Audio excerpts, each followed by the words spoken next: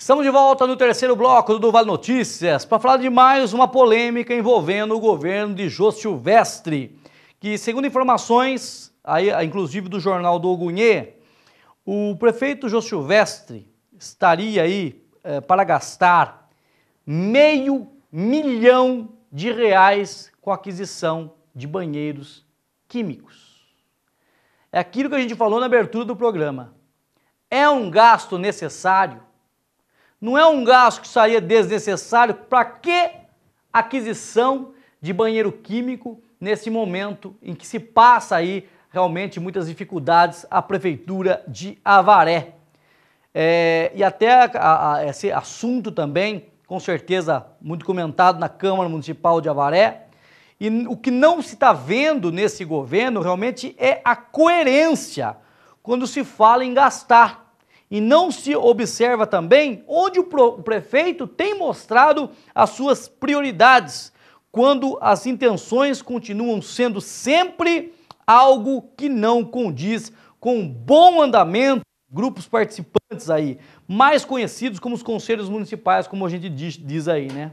O comportamento do prefeito Jô com esses gastos astronômicos anunciados, com roçadas, tapa-buraco, banheiro químico, já seria suficiente para uma grande discussão na Câmara de Vereadores. O que precisa saber realmente se par, os parlamentares de Avaré estão preocupados com isso ou vão deixar mais esse estrago acontecer. É difícil a gente tentar entender o porquê desses gastos. No carnaval tivemos um gasto astronômico de quase 200 mil reais com carnaval bem meia boca. Nós vemos aí gasto com capinagem, ainda bem que o processo de estação acabaram é, adiando aí, cancelando esse procedimento, que ia gastar meio milhão de reais com serviço de capinação. Mais uma quantia com roçada. Agora mais uma quantia com pintura de postes. E agora, outra quantia com aquisição de banheiros químicos. Pergunto para você, meu senhor, minha senhora que está assistindo nesse momento. A prioridade desse governo é adquirir banheiros químicos? Para quê? Para que evento? Não é? Esse dinheiro não poderia ser investido aí realmente nessa operação tapa-buraco porque tá, tem tanto buraco dentro da cidade que o povo está cansado e ninguém vê essa operação andar e ninguém sabe a situação que está, porque a justiça mandou parar, a prefeitura continuou e agora ninguém sabe informar se continua ou não essa operação tapa-buraco. Mas o que a população vem observando são buracos espalhados por quase todas as vias dessa cidade. Aliás, tem algumas vias que essa operação parou, bastou uma chuva para os buracos reaparecerem. Será que o material que está sendo utilizado é um material de alta qualidade? É, agora que a gente está vendo aí, desde que assumiu em janeiro, três meses se passaram, e agora que foram capinar uma praça que estava dessa altura de mato na frente da minha casa. É, ó, um tempão, hein? E ali já tem animais peçonhentos, né? É escorpião que entra para casa, é um é cobra, é a criançada que fica na rua jogando bola, a pessoa fica com medo, vai com, aparece um, um bicho desse aí, acaba picando alguma criança. É, agora que estão começando aí com esse, essa parte de capinagem aí das praças, né? É limpeza das praças. Mas a gente vê tantos gastos desnecessários nessa administração que a gente começa a se perguntar por quê? Será que tem algum propósito o prefeito de estar tá, é, com essas licitações em andamento para contratar é, banheiro químico, né? Para a, a própria tava-buraco para comprar a massa asfalta quente, a massa asfáltica quente, que na verdade o valor que era previsto na licitação era de mais de 3 milhões de reais, e de repente vem uma empresa e, e oferece um milhão de reais a menos? Por que, que esses processos, esses procedimentos licitatórios estão sendo superestimados? É muita coisa que a gente vai se perguntando, porque nós não conseguimos entender esses gastos realmente, olha, desnecessários nesse momento. Se a prefeitura de Avaré tivesse em dia com o seu funcionalismo, tivesse em dia com os seus fornecedores, que a cidade não tivesse tão afundada em, em, nessa crise tremenda, com buracos, com mato alto, com muita coisa aí, daí sim a gente poderia pensar, ó, oh, vamos pintar um poste para embelezar a cidade. Poderia até pensar. Para mim, eu não pinto poste nunca. Pintar poste, para mim, é jogar dinheiro na hora do lixo. A verdade é essa, né? Ainda mais contratar empresa só para serviço de mão de obra, tendo a prefeitura ainda a necessidade de comprar a tinta, né? Isso é um absurdo tremendo. Até os vereadores estão tentando barrar isso daí no Tribunal de Contas do Estado, também no Ministério Público. Então, a gente não consegue entender realmente o que se passa na cabeça do prefeito Jô Silvestre. Gastos de dinheiro, tem muito dinheiro aí sendo jogado na lata do lixo. E a prefeitura não pode desperdiçar um centavo.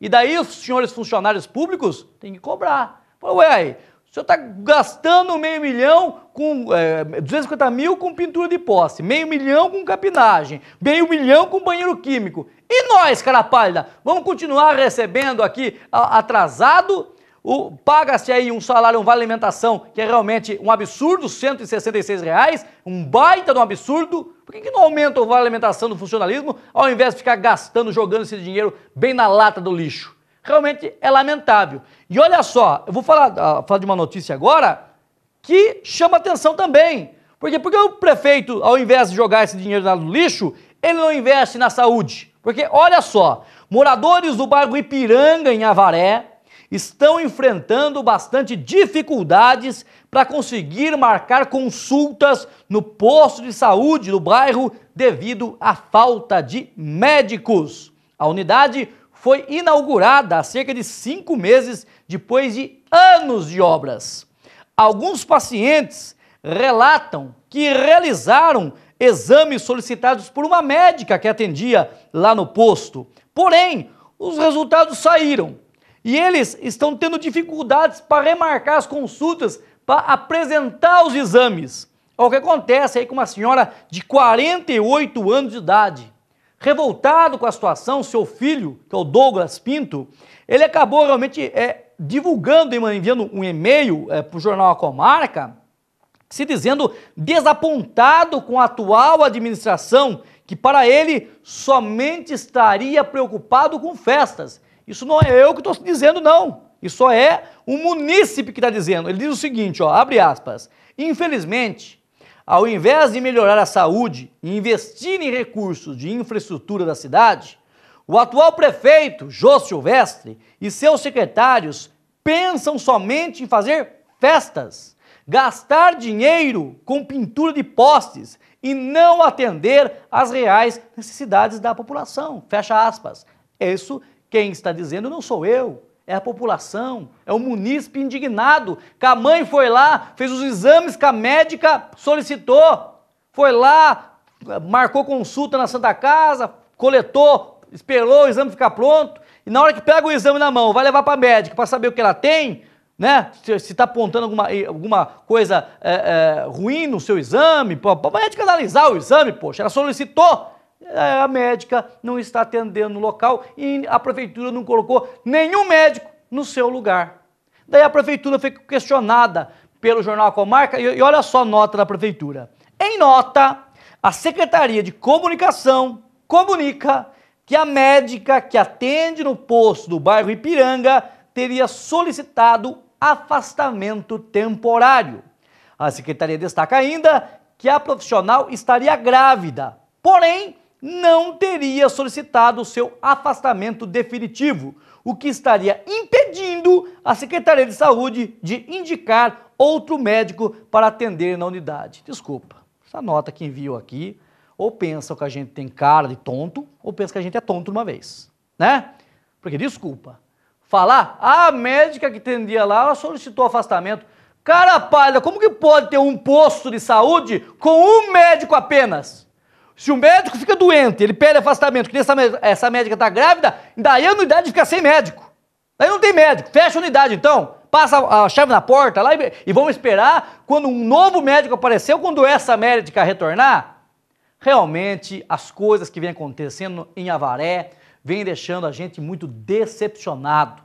Ou estão tirando sarro da cara da população, ou pensam que a gente é idiota, sabe? Porque até tá, está havendo um grande desrespeito com a população.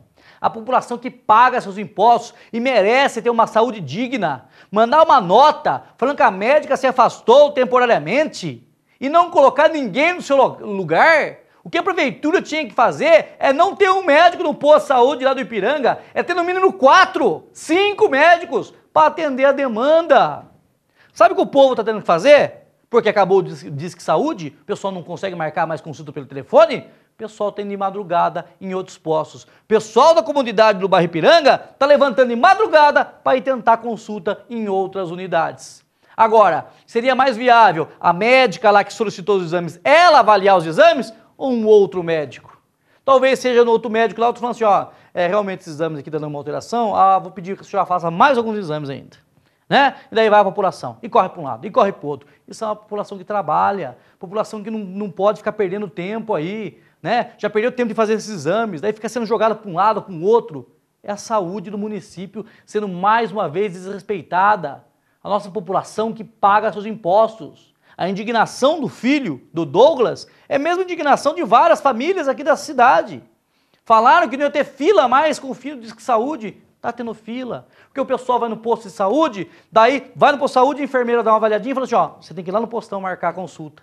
Então as pessoas têm que fazer o quê? Vai direto no postão da UACA marcar consulta. Se os postos de saúde dos bairros não estão funcionando, não estão marcando consulta, é o postão que marca tudo. Por... Agora, agora eu falo para vocês: acabaram com o Disque Saúde. Melhorou ou piorou para o senhor para a senhora? O senhor e a senhora que não precisava levantar de madrugada de madrugada para ir marcar consulta, o senhor está levantando agora? A senhora está levantando de madrugada agora nesse momento? Para ir lá para marcar uma consulta médica?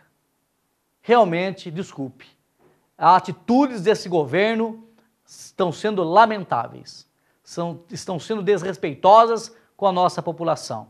São pessoas que estão com a saúde cometida, são pessoas que precisam de um tratamento, precisam de médico no posto, não precisa de festa, não precisa de pintura de poste, não, não precisa de gasto com aquisição de banheiro químico, não. A população não quer isso.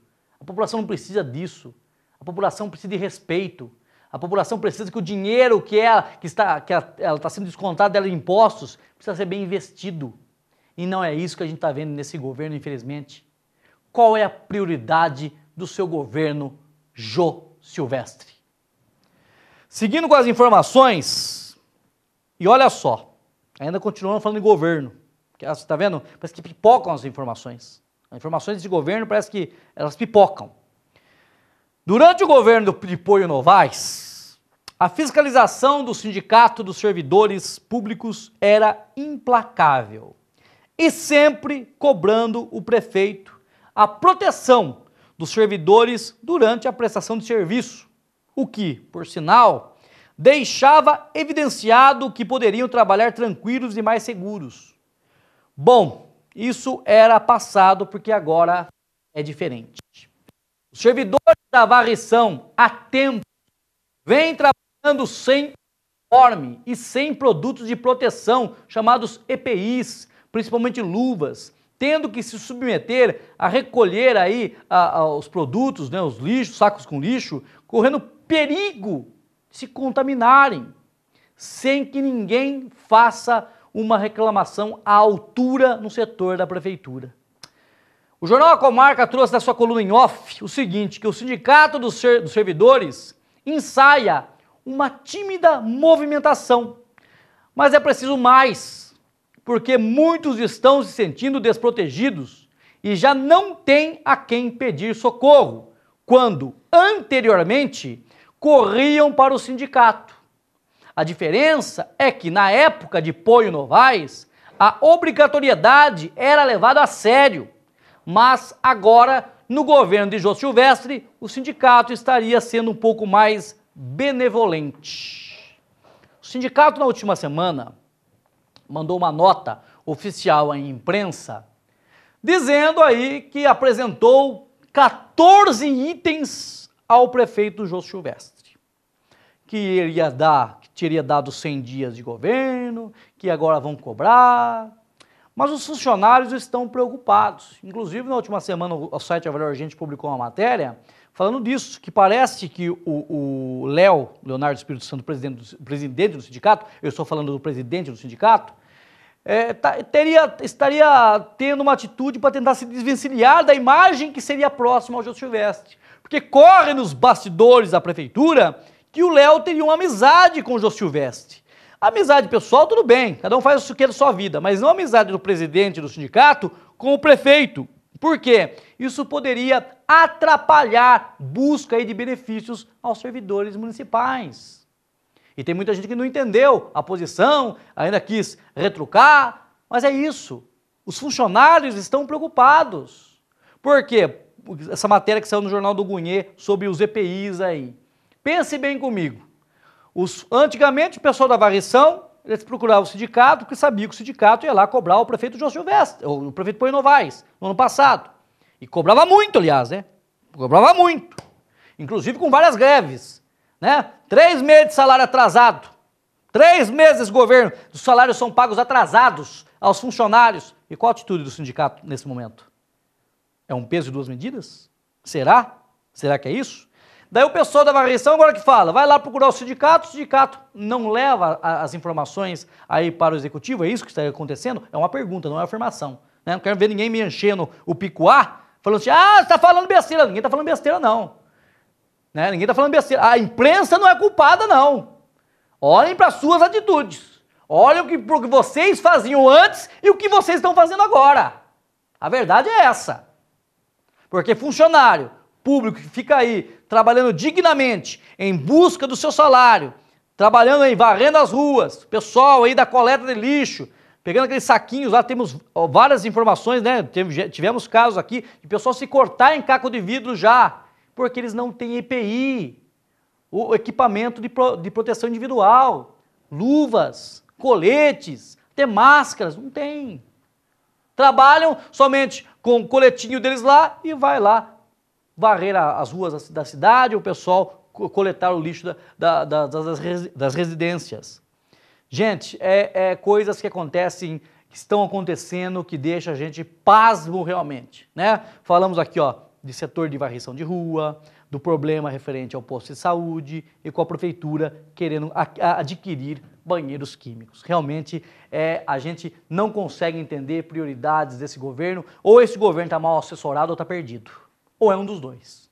Ou o pessoal que foi contratado para trabalhar nesse governo né, não está dando conta do recado, ou esse governo está perdido. Fique com uma das duas opções aí, porque é isso que a gente está vendo. Porque parece que a gente está vendo esse governo é, é, é, é está navegando em mares muito turbulentos e sem ninguém no leme. O barco vai sendo jogado para um lado, vai para um outro, vai sem rumo nenhum. E é isso que a gente está vendo aqui no município de Avaré, infelizmente. E na próxima sexta-feira, dia 31 de março, ocorrerá na MUN o Blues Night, um evento em prol à instituição Vana. A iniciativa é da agência de publicidade e propaganda LP3 Digital. A noite contará com amostras de arte, shows e a mostra da minissérie O Despertar da Consciência, trabalho realizado pela agência, contando a história das estrelinhas da Havana. Confira aí a entrevista com um dos idealizadores aí desse evento, o Rodrigo Alves. Vamos acompanhar. É um evento em prol Havana, né, que nós estamos organizando. É, a ideia surgiu toda lá da LP3, que é uma agência de propagandas aqui em Avaré, né? E a ideia foi é, construir uma noite de música e arte, né? Ao mesmo tempo que fazer com que o, o a, institui, a, instituição Vana seja mais é, reconhecida, né?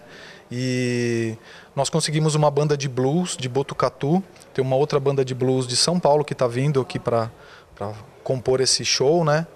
E vai ser uma noite cheia de artes, vai ter food truck também, é, teremos é, stands colaborativos, de produtos é, feitos aqui em Avaré, é, camiseta, vai ter o bombocado do Seu Paulo também, que é muito conhecido aqui na região.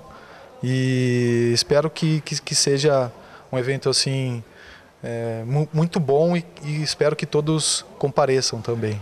E também nós temos um VT, né, falando sobre esse evento. Acompanhe. Olá galera, nós somos a banda Blue Station aqui de Botucatu e a gente está aqui para convidar todos vocês para um evento que vai ocorrer em Avaré, dia 31, a partir das 20 horas. E vai ser na Casa Noturna Moon. E o valor vai ser 25 reais. Esse evento é em prol do Vana e esse valor vai ser convertido para a instituição. E vai ser muito legal o evento, cheio de arte, música. E esperamos todos vocês lá. É isso aí, não percam e um beijo. Muito obrigada.